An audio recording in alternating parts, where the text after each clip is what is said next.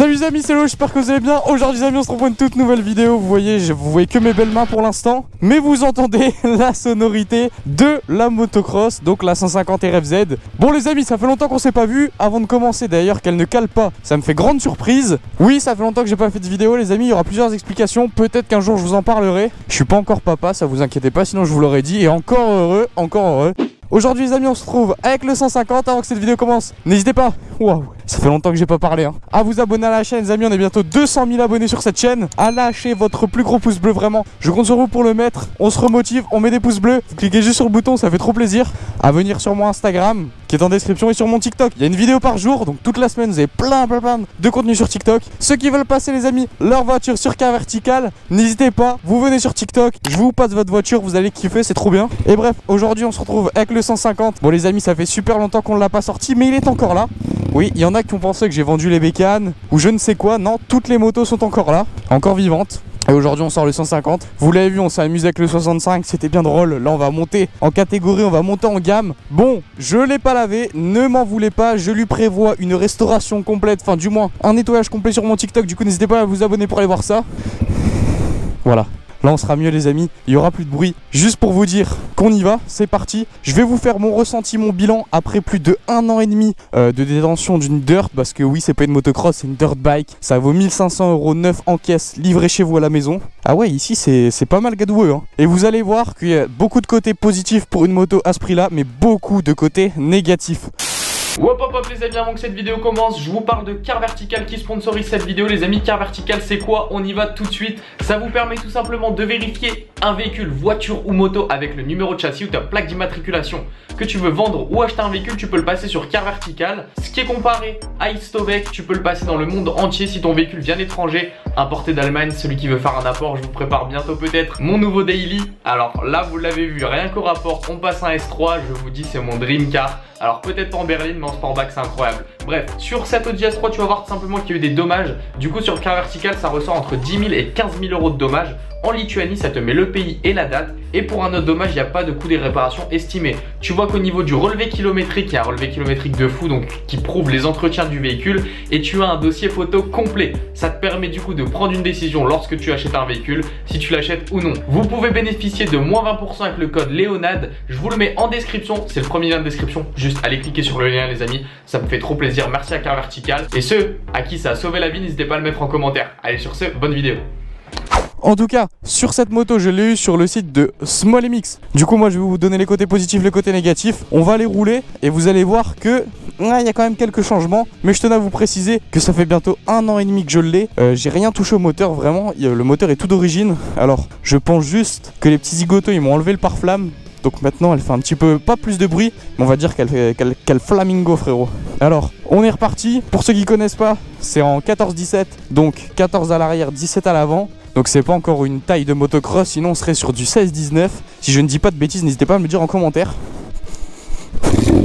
Alors pareil, pour ceux qui ont ce genre de bécane, je vous attends en tournant dans les commentaires pour donner un retour d'expérience sur vos dirt bikes, le temps qu'elles ont tenu, si vous les avez achetés neufs, pas neufs, votre expérience, si vous avez tout changé sur le moteur ou pas. Et en tout cas, nous on s'en va en balade. Du coup, n'hésitez pas à liker cette vidéo. Et c'est parti les amis. Wow. Par contre, comment ça glisse oh. Alors, je pense, soit la moto est complètement déréglée parce que ça fait longtemps qu'elle a pas roulé. Donc c'est le, le bordel, frérot. Elle n'est pas du tout dans les tours. Enfin, vous allez voir, il n'y a pas de patate. Vraiment, il y a un changement. J'avais oublié que c'était une boîte où tu avais tout vers le haut. Mais vraiment, elle tourne bizarrement. Donc ça, je vous attends aussi en commentaire pour m'aider à faire le réglage. J'ai un pneu avant à l'arrière, à l'avant. Mon pneu avant est crevé, donc ça aussi faudra pas, faudra pas trop négliger. Bon, on n'est pas là pour faire de la route, on va juste aller sur le spot habituel. Oh là là, par contre les retours. Ah, ça fait trop bizarre de rouler avec les pneus cross sur la route. Ah, le pneu frérot limite il va se détacher. Ah, il n'y a plus du tout de patate. Hein. Franchement, comme c'est un 150, faut s'attendre quand même à un minimum de pêche. Et là, franchement, je pense qu'elle en a perdu des chevaux. Hein. Alors force, force à tous ceux qui sont sur l'autoroute le matin. Moi, je commence plus tard le boulot, donc j'évite tous les bouchons. Donc ce qui me permet d'aller faire des petites vidéos le matin quoi. On est passé de 30 degrés en octobre à 5 degrés en novembre et je vous jure que je plaisante pas, c'est horrible. Donc c'est parfait pour ressortir les motocross. Ouah, alors comment ça a poussé depuis? Ça fait longtemps que je suis pas venu hein. Oh le 150 toujours disponible pour la pêche. Alors pour ceux qui voudraient entendre un peu la sonorité de l'échappement libre, donc je le rappelle, un moto toute d'origine du moteur échappement, par contre elle fume. Ça, dites-moi les amis, elle fume, elle sent. Pourtant, mon huile est bonne. Faudrait peut-être faire une vidange. Mais une vidange sur ça, c'est tous les un an. Enfin, c'est une dirt bike. Regardez comment elle fume. Bon, par contre, euh, ça fait toujours autant de bruit pour ce que ça avance. Hein. Regardez les mecs, tous les gens là qui sont à l'arrêt. Bon, allez, en tout cas, nous on y va. Donc, pour ceux qui connaissent pas, vous claquez tout vers le bas. Je la tiens parce que sinon, je pense qu'elle va couper. Vous claquez tout vers le bas, vous avez le point mort, vous remontez, il me semble que c'est une boîte 5, voire boîte 4, et je pense plus qu'on est sur une boîte 4 qu'une 5. Tu claques, et hop, après tu lâches ton embrayage. C'est vraiment comme une moto classique. Par contre, comment ça glisse? Donc les pneus aussi sont d'origine. Donc vu qu'il y a aussi un petit peu de bitume, bah pour aller au champ, je pense que ça peut y jouer aussi. Ah, si vous verriez ma dégaine, les amis, j'ai sorti le casque de, moto classique, quoi. J'ai pas sorti le casque cross parce que j'avais un problème de micro, donc là, j'espère que ça ira bien. Mais tu vois, soit il manque de pêche, oh non Soit elle adhère moins au niveau du pneu, ou soit il manque de pêche. Je pense à un peu des deux en vrai. Parce que perdre autant de pêche en si peu de temps, ça m'étonnerait, mais en tout cas, ça fait plaisir de rerouler avec. C'est vrai que ça fait longtemps que je l'ai pas sorti, mais en tout cas, euh, voilà, tu vois, toujours présente. En termes d'entretien, bah, c'est une dirt bike. Tu vois là oh, Ça monte toujours quand même. Hein. Oh là là et eh, si vous verriez ma dégaine, je ne ressemble à rien. Casque pour les casques de course, habits de travail, frérot. On est, euh, on est 100% comme il le faut. Hein. Bon, ce que je vous propose, on fait un petit peu de ligne droite, on fait un petit peu de champ, on voit comment elle se comporte. Donc, comme je vous l'avais dit, oh là là, et niveau de la suspension et tout, ça va toujours, hein, je trouve. Hop, tranquillement. Ah, un petit point mort. Ça fait plaisir. Waouh oh, Je viens de prendre une giclée Ah Ah, c'est ça de rouler avec la visière ouverte. Elle était ouverte de ça. Waouh Ah, j'ai pris une giclée sévère. Hein. Oh, la faciale, frérot, j'ai pris... La visière est ouverte de ça. J'ai pris un de ces cailloux. Ah c'est dommage j'ai pas la, GoPro qui vous filme le casque. Bon en tout cas on va fermer la visière. Bon du coup allez on y va. On va la fumer tard Au passage de rapport je sais pas il y a une baisse de, reprise on dirait. Bon du coup c'est une moto que j'ai eu il y a un an. Oh là là oh là là ouais ouais. Ah ouais toute la buée.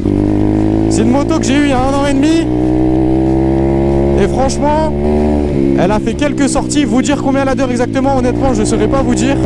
Mais vous voyez qu'elle est là, et elle roule toujours, quoi, tu vois. Donc déjà, premier point, si tu veux t'acheter ça pour un été, donc euh, bon après, c'est vrai que ça fait cher, 1500 balles pour un été, mais bon, si tu te prends une cross, ça sera bien plus. Donc 1500 euros pour un été, franchement, je trouve que c'est rentable. Et elle tient. Donc là, moi, tu vois, potentiellement avec, j'aurais pu faire deux étés complets. Donc euh, au moins, avec ça, déjà, c'est un petit peu plus rentable. Donc deux étés complets là-dessus. Donc ça déjà, on va commencer par les points positifs. Parce que oui, euh, il y a des points positifs, mais il y a aussi des points négatifs. Et avant de la détruire, on va la complimenter un petit peu, tu vois. Là, on va y aller doucement. Mais elle avait une jeune dégaine folle, frérot. Hop, tu vois, tout doucement, on va pas faire chier, tu vois, c'est les maisons. Bon, je dis pas ça parce qu'à chaque fois que je me fais arrêter ici, la dernière fois, je vous jure, j'étais pas en vidéo, hein, la dernière fois que je me fais arrêter ici, on va prendre la fourrière, tu vas pas repartir avec et tout. Oh là là, c'était mémorable. Et je vous filmais même pas ce jour-là. Oh non, oh c'est quoi ça? Waouh, on va éviter de bombarde si tu veux pas qu'on finisse arrosé. Bon du coup, autre point positif, tu vois que c'est assez maniable et que c'est assez joueur quand même. Donc ça franchement on peut pas lui, lui enlever ça. Après j'ai pas testé les gammes des 125, donc ça je saurais pas vous dire si une 125 c'est aussi joueuse. Par contre une 150, bah tu vois il y a, y a ce qu'il faut. Après souvent quand t'es comme moi, que t'es jeune et que t'as pas beaucoup de budget, franchement trouver une moto dans ces prix là, c'est plutôt pas mal. Hein. Parce que c'est des motos sur le bon coin, je vous conseille pas de les acheter parce que en vrai c'est des dirt bikes, ça se fait matrixer. Je sais même pas si on peut employer ce terme là, ça s'en prend plein la gueule. Donc franchement, l'acheter d'occasion, ah c'est possible, mais tu vois après, si ça fait un an, deux ans que le mec il l'a, elle peut avoir des soucis, tu vois, au niveau du moteur et tout. Et après, tu peux t'y connaître un petit peu en mécanique, mais un moteur comme ça, attendez, je vais vous montrer. Un moteur de dirt bike, ça dépasse jamais euh, les 300-400 balles. hein. Et même 300-400 balles pour un moteur, en vrai, je suis gentil. hein. Oh, comment elle est dégueulasse. Moi, c'est le modèle Enduro pour ceux qui voudraient savoir. Donc, si vous voulez, vous avez une autre plaque phare avec un phare. Donc, moi, plaque phare avec un phare, euh, je viens de me rendre compte. hein. Moi, j'avais du coup une fixation qui a pété, du coup, bah, j'ai mis la crosse. Et comme je roule pas de nuit avec, bah voilà.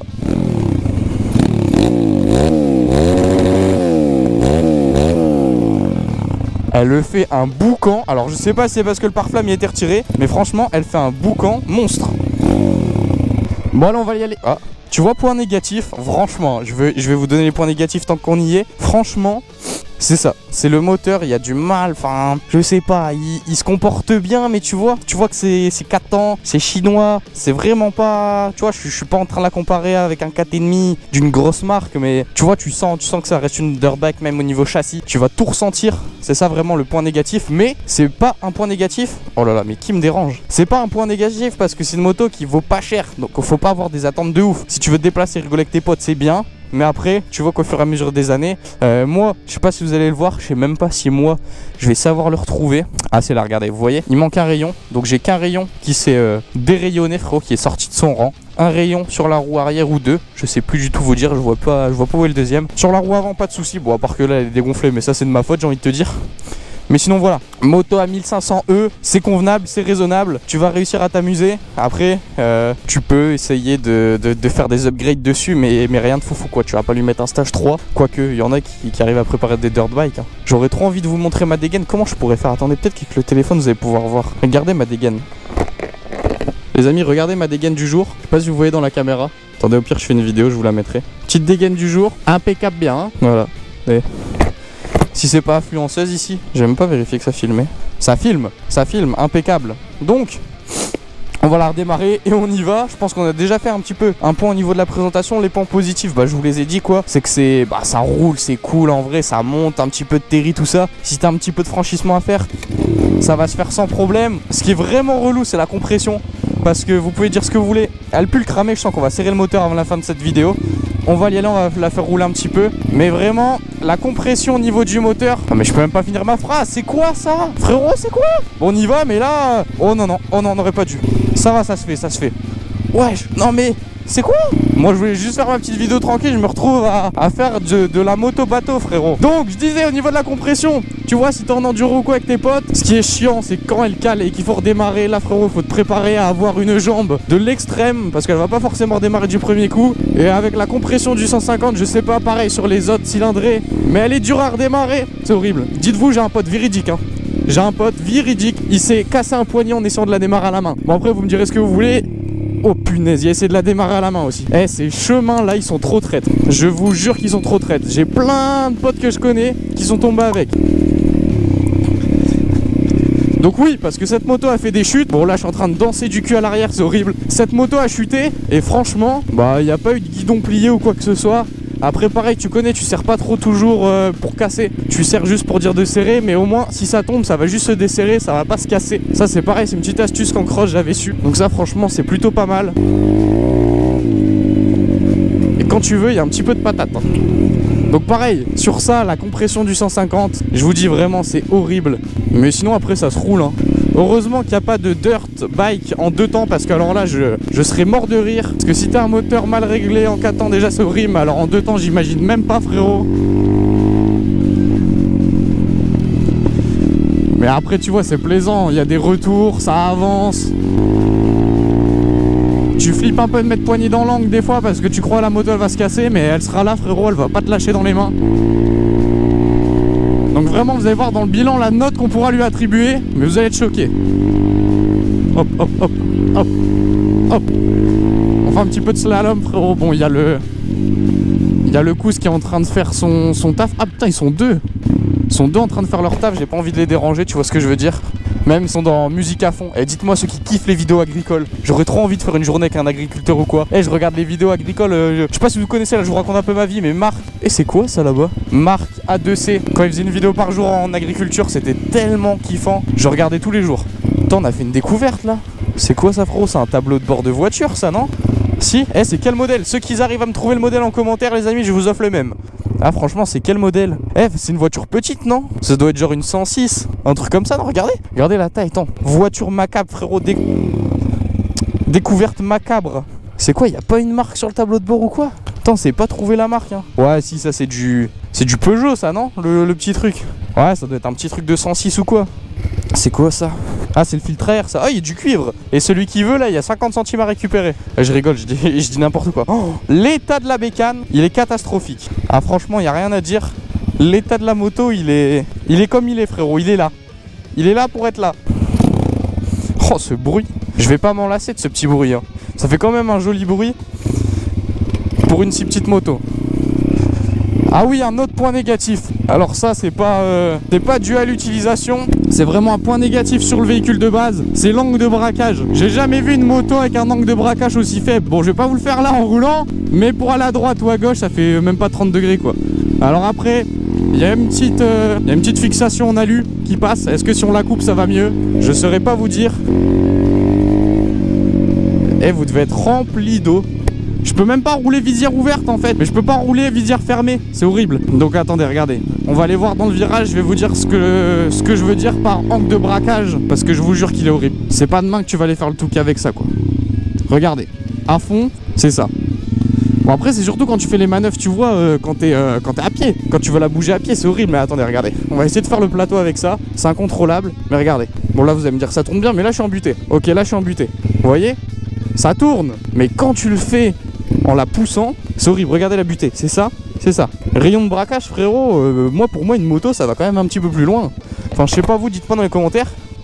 Mais moi, une moto, ça doit aller plus loin. Regarde, quand t'as envie de faire ce genre de figure et que t'as pas une moto qui va loin, c'est horrible. Donc sinon voilà, au niveau des points positifs, bon on les a fait et refait, donc ça y a pas de souci. Au niveau des négatifs, bon il y en a quand même pas mal, mais après ça je voulais juger en commentaire. On soude, on soude la poignée Un point positif comme ça, 150, honnêtement, je pense ça prend. Honnêtement, je pense ça prend 70 km/h, 80 km/h facile. Ça, je sais pas, faudrait essayer. Dites-moi si vous voulez que j'essaie avec la GoPro. Et ça lève Ha 1500 euros la bécane, peut t'entraîner au wheeling. Ça lève, hein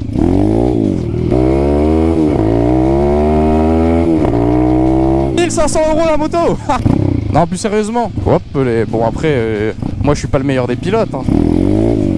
On va se mettre en deux. Non, en une.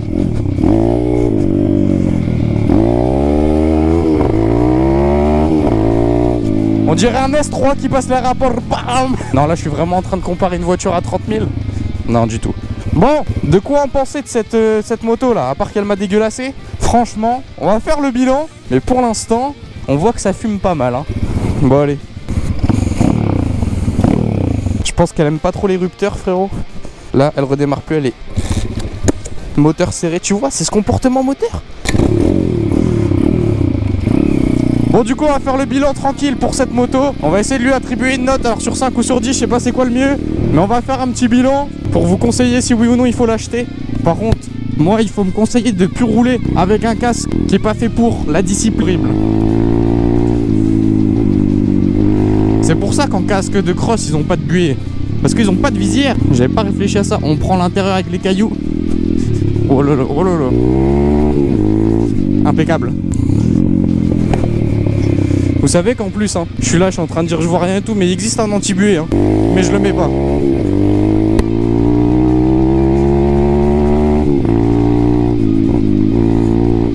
Petit saut avec la moto, bref, du coup les amis, pour faire le bilan de 750 RFZ 2022, il me semble que c'est le modèle 2022. Alors qu'est-ce qu'on pourrait dire? Que déjà pour une moto à 1500 euros, déjà pour une moto dirt bike, pas une motocross, pour dire de rouler, de s'amuser avec ses amis, c'est largement fait pour. Vous pouvez y aller les yeux fermés en me faisant confiance. Si jamais, bah vous m'appelez euh, et on se tape quoi, tu vois. Non, je rigole. En tout cas, voilà, pour une moto à 1005, pour t'amuser avec tes amis, ça va le faire. Si tu veux te faire un été ou deux, ça va le faire. Si tu veux faire une spéciale, bon là, euh, là frérot, je vais pas te dire, euh, je vais pas te conseiller ça si tu veux aller faire le prochain Touquet avec ou le championnat. Mais si tu veux t'amuser, voilà, les dimanches entre potes, petite sortie, Ça va le faire tranquillou. Tu peux me faire confiance. Ma seule recommandation, je dirais, c'est de les acheter neuves. Alors, c'est pas pour faire euh, un placement de produit ou quoi au fournisseur. Mais c'est que tu vois, pour euh, sur Docas, tu vas les trouver à 800 euros. Tu rajoutes le double, tu la neuve. Donc, franchement, si je peux te conseiller un truc, c'est de l'acheter en neuf. Au niveau de la taille, j'ai jamais testé plus petit, mais sinon le 14-17, euh, bah, c'est le modèle top. hein. Moi je fais euh, 1m80, 90 kg que du muscle, ouais peut-être pas, mais, euh, mais non au niveau de la taille, ça me correspond bien. Bon t'es toujours bas, tu vois, parce que c'est une dirt, hein. t'es pas sur un 4,5, hein. ça faut pas l'oublier. Mais sinon au niveau du comportement, alors là on fait l'essai routier frérot, comme si on avait le droit. Mais du coup sinon au niveau du modèle, à proprement dit, je sais même pas si c'est un mot qui se dit ça. Mais vous pouvez rouler quelques hivers avec. Je vais pas vous dire qu'elle va tenir 5 ans. Ça serait vous mentir de vous dire que c'est une super moto, que ça remplace une motocross. Ça, c'est pas vrai, tu vois. Mais pour 1005, dites-moi ceux qui en ont une. Vraiment, je vous attends, vous, en commentaire pour vous guider les prochaines personnes s'ils peuvent en acheter une ou pas. Mais dites-moi. En tout cas, moi, je peux que vous conseiller d'en acheter une si vous voulez rigoler. Au niveau de la cylindrée, vous regardez au niveau de votre budget. Parce que vous allez pouvoir prendre avec, euh, en fonction de votre budget. Niveau entretien, t'as que dalle à faire, tu fais une vidange, tu resserres un petit peu tout. Parce que voilà, ça va se desserrer, ça frérot, tu peux en être sûr. hein. T'en as ma parole, tout va se desserrer. Mais tant que ça se barre pas, j'ai envie de te dire, ça va. Moi, techniquement, quand je suis arrivé ici, je suis sauvé. La marée chaussée n'est plus, rien pour moi. Ils vont m'attendre à la fin du chemin, tu vas rien comprendre. Donc tu resserres tout. Tu te fais un truc après chaque sortie, tu vois, un petit entretien. Laver, graisser après chaque sortie, personne le fait. Sur une dirt, hein, je veux dire. Aïe, mais hé, deux fois aller-retour, je me tape le même. En vrai, il a dû me laisser une jolie trace. Hein. Donc si tu veux apprendre à lever, c'est le top. Bon, c'est le top. Si tu veux apprendre à lever, tu peux. Si tu veux rouler avec tes potes, tu peux. Donc franchement, les amis, dites-moi ce qui vous, ce qui vous motive pas à en acheter une. Hein. C'est un truc de fou. Petit coupe-circuit. Hop, là, t'es tranquille. Donc voilà, t'as une moto. Bon, assez jolie. Ça, on pourra en revenir. C'est de la dirt bike. T'auras jamais des courbes d'une d'une SX ou qu'est-ce que tu veux. Mais euh, voilà, t'as un petit truc qui est drôle, qui roule. Tu l'entretiens comme il faut. Juste, tu vas aller graisser ta chaîne. Tu vas resserrer les vis qui se desserrent. Tu la laves. Tu fais tout pas comme moi en fait. Tu fais tout à l'inverse de moi. T'auras une moto qui va tenir dans le temps. Je te dis, ça fait un an et demi que je l'ai. Je pense que ça peut largement tenir plus. Tu vas pas aller changer un cylindre piston, tu vois, c'est pas du deux temps. Puis voilà, on se casse pas la tête. 1005, on se fait plaisir avec les potes, on achète ça. Ça a un petit peu de pêche. Tu vas pas aller faire des grimpettes non plus euh, de, de 500 mètres, mais 50 mètres en grimpette, ça va le faire parce que je l'ai déjà fait. Comme si moi je le fais, vous, vous pouvez le faire. hein. Puis voilà, quoi, on est chill. Donc voilà. En tout cas, les amis, dites-moi ce que vous en avez pensé dans les commentaires de cette petite bécane, de ce petit bestiau. Franchement, pour le prix, euh, vraiment, je reviens toujours. hein. Mais c'est ça, c'est c'est le nerf de la guerre. Si le prix est bas, tu peux pas toujours t'attendre à un truc de ouf, tu vois ce que je veux dire Et c'est le marché. Et en vrai, les dernières, elles sont jolies. Ils ont sorti des nouvelles phases, elles sont mignonnes. Donc si tu veux te faire plaisir, c'est le moment. L'hiver arrive, tu vois, il y a quand même un soleil de plomb, frérot. Donc tu peux te faire plaisir pour pas trop trop cher. Tu peux aller rouler. Après, je te dis pas que tu vas kiffer ton ressenti de conduite à 100%. Au niveau de la direction, au niveau du châssis. Mais t'auras de quoi rigoler quand même. Je vous invite à aller regarder toutes mes autres vidéos sur ce modèle pour vraiment vous décider avant d'acheter ou pas. Et vraiment dans les commentaires, je compte sur vous pour ceux qui en ont une et d'autres marques, hein, parce que je sais qu'il n'y a pas que celle-là. Il y a aussi des, YCF. Alors on dit que c'est français, mais on peut, peut jamais tout acheter en France, ça c'est impossible. Elles sont peut-être assemblées en France que tu veux, mais les pièces qu'on va retrouver dessus seront toujours similaires. Après, peut-être YCF. Vous m'appelez, on fait un test ensemble, et là je vous dirai si vous êtes vraiment devant ou quoi. Mais voilà, sinon, pour ce genre de dirt bike, il y a de quoi s'amuser, il y a de quoi déconner.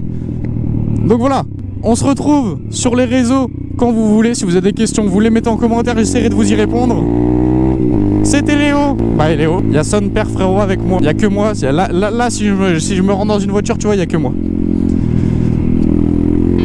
Ah puis qu'est-ce que c'est kiffant ces petits retours vraiment. Tu fais une moto bien de I'm just fucking lit, man. I'm just fucking lit. Drink a bottle of this shit, man. Bottle of this shit. I'm about to write a hit, man. About to write a hit. No, I'm never gonna quit, man. Never gonna quit. I just took another hit, man.